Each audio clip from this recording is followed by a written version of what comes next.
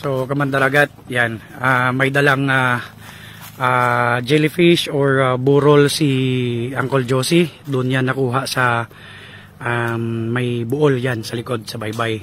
Anong gagawin natin dyan, Col? Kilawin. So, yan. Magkikilaw tayo ulit ng ah, ah, jellyfish, mga kamandaragat. So, yan, kamandaragat. Yung kukunin ngayon ay yung bukol ng nyug o yung ah, ah, maliit pa na bunga ng nyug. So, ang purpose ng bukol is yan yung nagpapatanggal ng kate ng jellyfish. Ayan, yung umaakit. Ayan, ilang taong na, Col? 66. Ayan, 66 years old si Uncle Josie. Umaakit pa nung ah, hanyog. Yan. So, yan, mga, so yan, mga ganito kalaking mga buko yung ating kukunin para doon sa ah, pampatanggal ng kate ng ah, jellyfish. Unahin natin itong pinaka makatol. Makati. Pero ito ang pinakamasarap. Mm.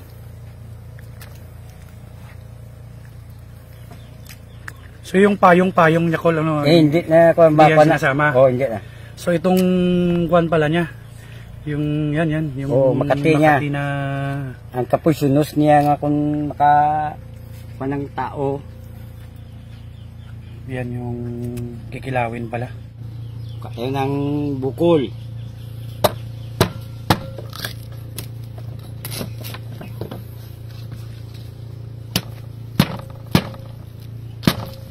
Ilalagay pa dyan ba, ba dyan, Tol? Wa, ito lang ang ilagay mo para makuha ang kati. Ito.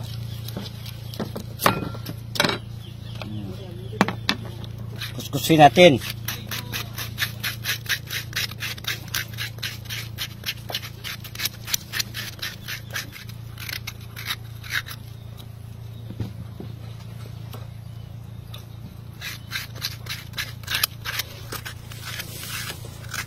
Oh, ito ang nilagay natin sa kwan, ang burol ng Makati ito, maka, pinaka Makati. Pag makawa na, makaduot ng pa, ang pa, balat mo, yun, Makati. Yun, patayin natin ang Makati niyang Gamit yung gamit sa pagkwan, ang dipinsan silang kwan. Pag katawan. kwan ba, Col, pag halimbawa na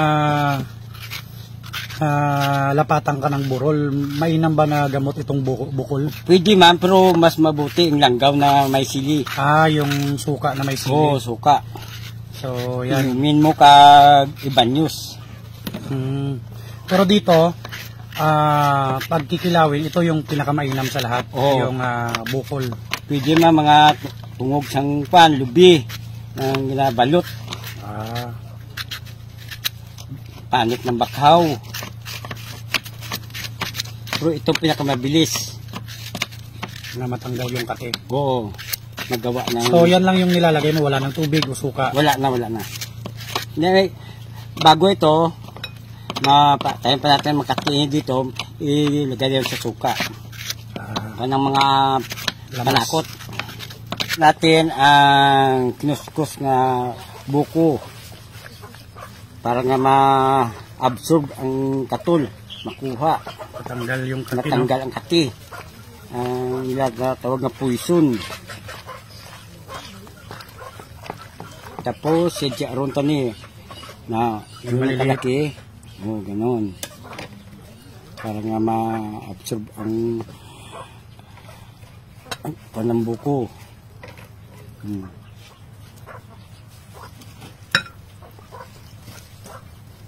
Matagal na itong ginagawa ni Col. Oo, oh, nakita ko ganyan ang mga nakita ko sa mga pala pala inom mga lasanggiro na na sa tuba. Ah, ito yung ito yung pulutan nila sa tuba. Pulutan Sa tuba. Na. Hmm, Ihalo natin.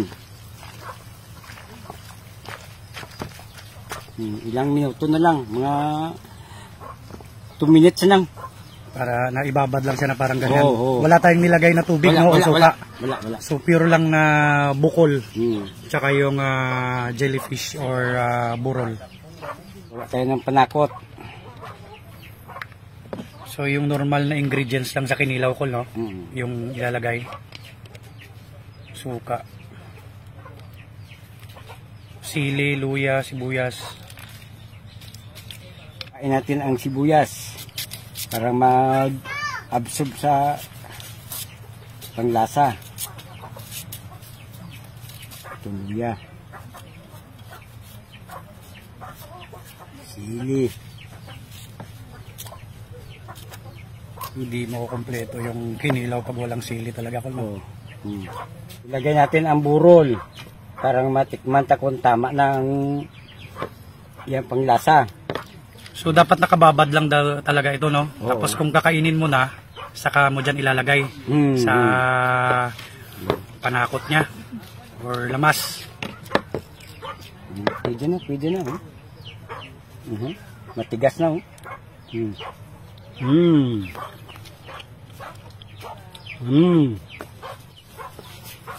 Oh, itong luyam at saka sibuyas.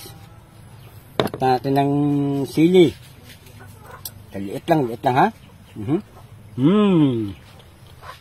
So susubukan natin to, kamandaragat. Ah, alam mo, pag okay na pala siya yung matigas na kulno. Hmm. Matigas na, oh, sobrang tigas. Hindi naman sobrang tigas. Parang rubbery siya. So, yan.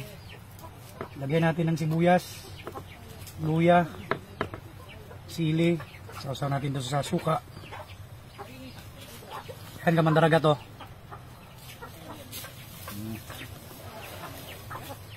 Hmm.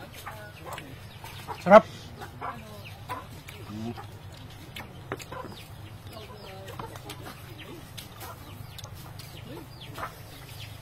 Hmm. Yan, papatikim rin natin sa mga kasamahan natin, kamandaragat, dito kay ah, Sir Shan.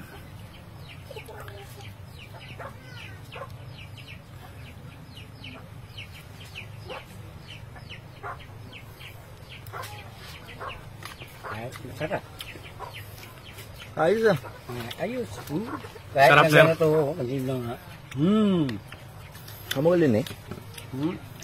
First time, First time mo nakapilaw sa niya. Ayos. jellyfish, no? Amin, amin, amin.